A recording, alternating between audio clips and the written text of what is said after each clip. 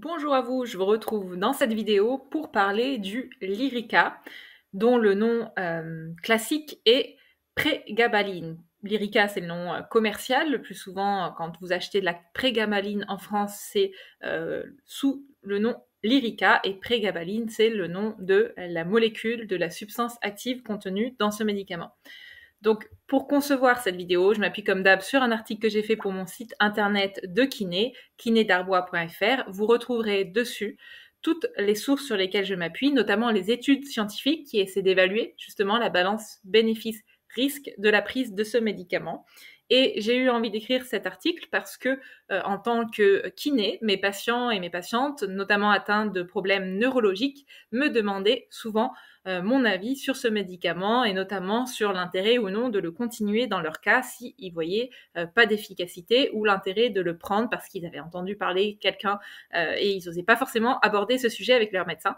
Donc nous, kinés, on est formés justement à aller rechercher les données dans la littérature scientifique internationale pour apporter ben, un petit éclairage aux personnes qui nous demandent notre avis sur ces médicaments-là pour aller plus loin que notre propre expérience personnelle ou professionnelle. Donc je vais particulièrement répondre à cette question qui est est-ce que c'est un médicament dangereux? Est-ce qu'il y a beaucoup d'effets secondaires? Lesquels? Pour que vous puissiez ben, vous juger si, au regard des effets euh, secondaires connus, eh bien, ça vaut le coup ou non de tenter de prendre ce médicament dans votre cas.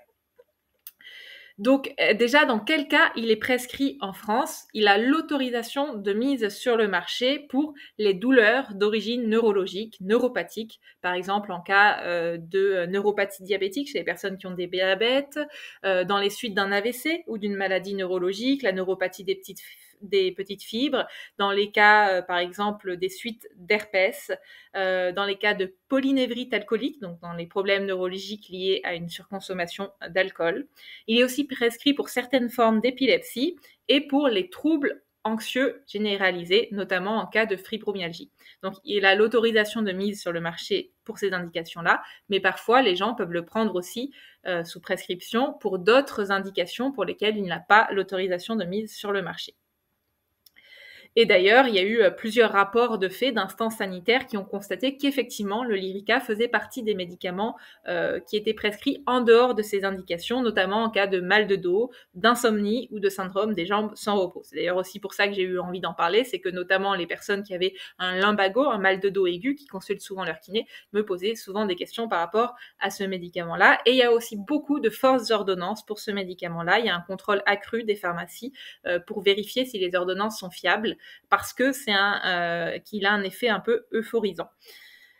Donc, quels sont les effets euh, secondaires du Lyrica et quelles sont aussi leurs fréquences? Parce que c'est vrai qu'il y a parfois des effets secondaires extrêmement graves pour certains médicaments, mais euh, si ça reste une personne sur un million, c'est pas pareil que si l'effet secondaire touche une personne sur cinq qui le prend. Donc, c'est pour ça que quand on a ces données-là, je vous dirai aussi à quelle fréquence surviennent a priori ces effets secondaires. Donc, euh, la plupart des effets secondaires décrits et dont je vais parler pour donc la prégabaline ou l'irica, ils sont d'intensité légère à modérée. Ils dépendent beaucoup de la dose, donc plus on prend une dose importante ou euh, rapprochée, plus il y a un risque qu'ils survienne. Et ils, ils surviennent surtout au cours des deux premières semaines du traitement. Après, il y a une sorte, entre guillemets, d'accoutumance, et en tout cas, votre corps réagit mieux. Et il tolère mieux et il développe moins d'effets secondaires. Donc, les deux effets secondaires les plus courants qui euh, surviennent chez une personne sur dix, quelle que soit la quantité prise, c'est la somnolence et les vertiges. Et ensuite, pour d'autres effets secondaires que je vais lister, là, ça concerne plutôt 5 personnes sur 100, donc un nombre moins important. Euh, donc, ces 5 personnes sur 100, elles développent un ou plusieurs des effets secondaires que je vais euh, lister ici, et donc plus souvent, deux fois plus souvent en moyenne que les gens qui prennent un placebo. Donc, ça va être la somnolence, les vertiges, une vision floue, des difficultés de concentration ou d'attention, d'où d'ailleurs la recommandation de ne pas conduire quand on prend du lyrica. La sensation d'avoir la bouche sèche, des œdèmes périphériques, ça veut dire des gonflements des membres inférieurs ou des membres supérieurs, surtout au niveau des chevilles, ça, ça survient chez 8 personnes sur 100. Et de la prise de poids. Donc vous voyez que ce sont des effets secondaires qui sont quand même relativement peu graves, en tout cas Bien sûr, la gravité d'un problème de santé, c'est quelque chose de relatif, mais en tout cas, voilà, on parle de ce type d'effet secondaire-là. Sachant aussi que ça veut dire qu'il y a 9 personnes sur 10 qui prennent ce médicament-là et qui ne ressentent ou décrivent aucun effet secondaire. Le Lyrica, il est aussi connu pour provoquer des idées noires chez certaines personnes sans qu'on ait de chiffres précis sur la fréquence de cet effet secondaire-là. Maintenant, une autre question qu'on peut se poser aussi, c'est est-ce qu'il y a un risque quand on arrête le Lyrica? Est-ce qu'il y a un syndrome de sevrage? Est-ce qu'il y a de la dépendance qui s'installe? Alors oui, il existe un risque lors du sevrage, surtout quand on arrête d'un coup le Lyrica et surtout si on l'a pris pendant plusieurs mois ou plusieurs années. Plus on le prend longtemps et plus on devrait en fait euh, diminuer progressivement la quantité prise jusqu'à l'arrêter et pas arrêter d'un coup. Donc les effets secondaires pendant cette phase, euh, si on l'arrête d'un coup particulièrement, c'est des insomnies, des nausées, des maux de tête, de l'anxiété, la nervosité, de l'irritabilité, de la transpiration excessive et de la diarrhée. Alors bien sûr, pas forcément tous effets secondaires, parfois un seul. C'est pour ça qu'il est recommandé bah, de consulter, de prendre l'avis d'un médecin généraliste au moins, voire d'un neurologue, pour vous aider à euh, diminuer progressivement euh, les quantités prises, surtout si ça fait des mois ou des années que vous le prenez. Sachant aussi que l'utilisation chronique sur plusieurs mois ou années euh, du Lyrica, elle peut entraîner une dépendance physique et un risque d'abus associé à son utilisation, notamment en prenant d'autres médicaments comme les opioïdes, la morphine ou des substances. Donc, Certaines personnes se demandent aussi si finalement l'irica n'est pas une drogue. Alors, ça dépend en fait beaucoup euh, de ce qu'on met en fait derrière. Drogue, euh, ça a peut-être une connotation négative, drogue, euh, alors que selon la définition qu'on prend, eh bien en fait n'importe quel médicament est une drogue dans la mesure où il a un effet sur nos hormones, sur notre système cérébral. Donc, je vous laisse à vous votre propre interprétation de ce terme-là. Est-ce qu'il fait dormir? Oui, effectivement, il a un effet à euh, susciter la somnolence, voire à aider à dormir certaines personnes. Mais par contre, il ne reste pas indiqué pour les troubles du sommeil. On privilégie d'autres substances ou d'autres approches non médicamenteuses pour les troubles du sommeil.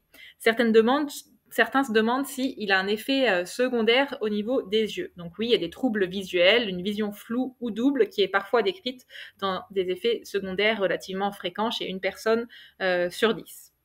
Est-ce qu'il provoque euh, des tremblements euh, alors, ça peut être, c'est raisonnable de penser que ça puisse être un syndrome associé euh, au, un symptôme en tout cas associé aux autres effets secondaires que j'ai décrits, bien que ce soit pas explicitement décrit dans la littérature. Concernant la prise de poids, bah, j'en ai parlé, oui, effectivement, et ça, il y a une prise de poids chez un peu plus d'une personne sur dix qui le prend à partir de 600 mg de prégabaline par jour. Est-ce qu'il y a un risque en cas de surdosage de Lyrica Eh bien, euh, oui, si on en prend euh, trop, c'est pour ça qu'en général, c'est un médicament qui est sous ordonnance avec une augmentation graduelle en fonction de votre ressenti. On n'augmente pas, par exemple, la quantité prise si on y voit déjà un effet euh, positif sur nos douleurs. Donc, c'est à prendre en général une ou deux ou trois fois par, par jour et souvent en prise de 75 mg. Et en fonction au, en augmentant au fur et à mesure des semaines. Donc dans ce cas-là, normalement, on limite le risque de surdosage.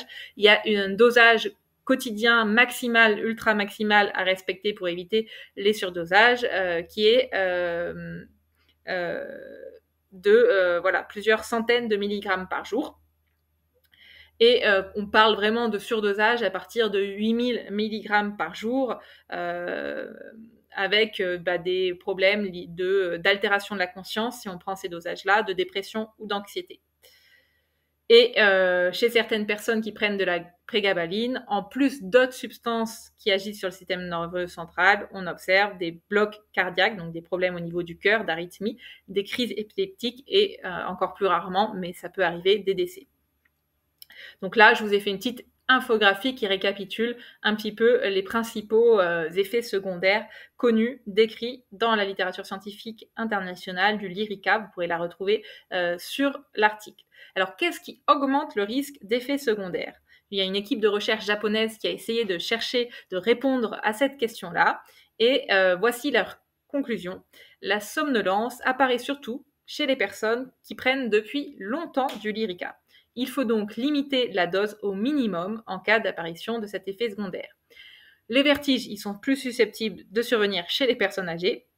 et la prise de poids et le gonflement, l'œdème, chez les personnes qui ont un taux élevé de créatinine dans le fer.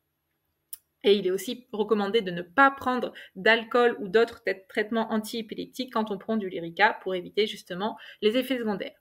Donc il y a aussi des contre-indications à la prise de ces médicaments, notamment le fait d'être allergique, d'être enceinte, ça c'est une précaution, et euh, le fait d'allaiter aussi euh, par précaution parce qu'il semble que la prégabaline passe dans le sang maternel. Concernant les effets à long terme de la prise continue de l'Irica, c'est beaucoup plus dur de se prononcer parce qu'il y a moins d'études qui suivent les gens sur plusieurs années.